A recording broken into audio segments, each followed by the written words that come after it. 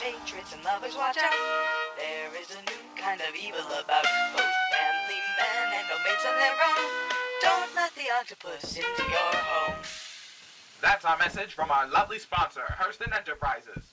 Before you get any ideas about sea life on the run, the octopus represents those bastard commies up north. It's a metaphor, you see. I tell ya, I love being up at 6 a.m. on a Monday. The sun rising over the city reminds me of all the life down there, all those good, stout-hearted Americans with jobs in their minds and capitalism in their hearts.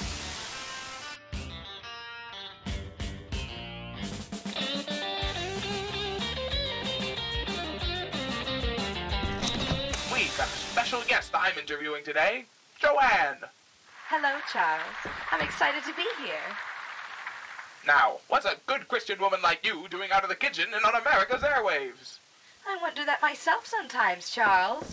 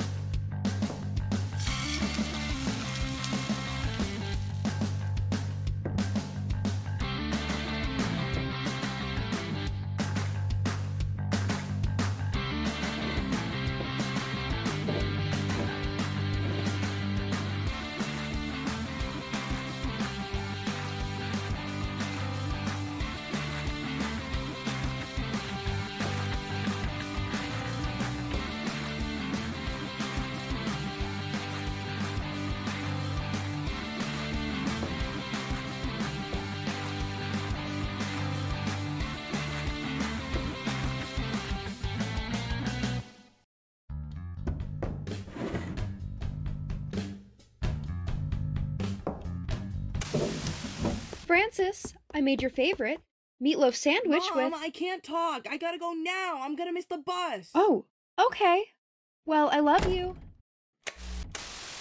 Are you tired of feeling taken for granted? You know it, Charles. Of course you are. We know all you family men work hard all day just to provide for the kiddos at the old ball and chain, and when do they ever say thank you? Hmm. Honey, I'll be out late again.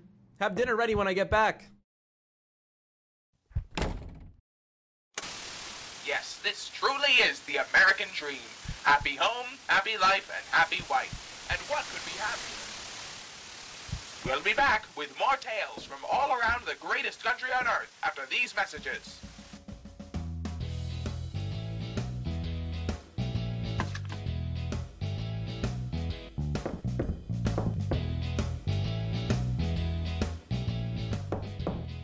Huh? It might be time to lay off the morning wine. Ugh. Even when something's a little different around here, there's always a mess to clean up.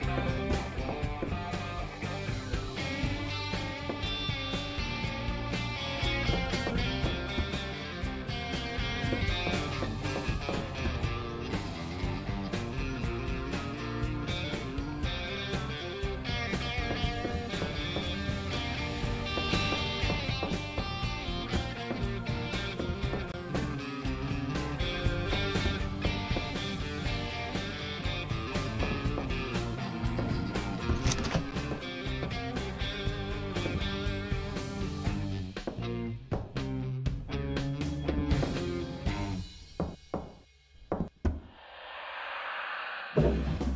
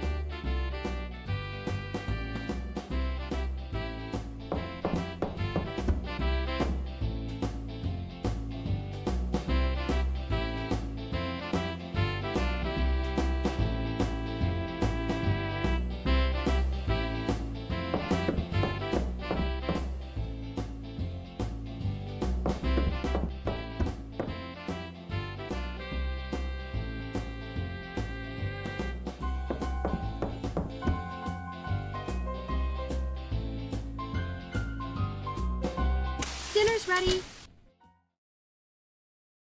Sure. Sure.